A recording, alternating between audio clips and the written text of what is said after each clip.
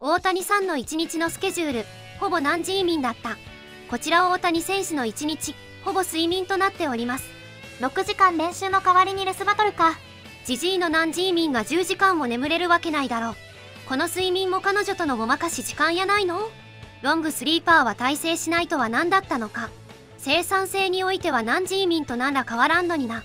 アスリートは筋肉増強のためにめちゃくちゃ寝るんやで。せやから浅田真央さんがエアウィーヴの宣伝に出とるんや。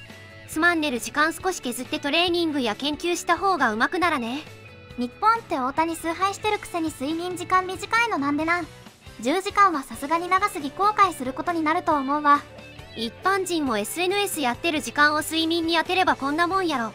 寝すぎもダメって言われてるけど大谷はどう考えても常人じゃないから一般的な知識で当てはめるのは無意味。正直ここまで寝れるのも才能だろ。睡眠はほんと大事。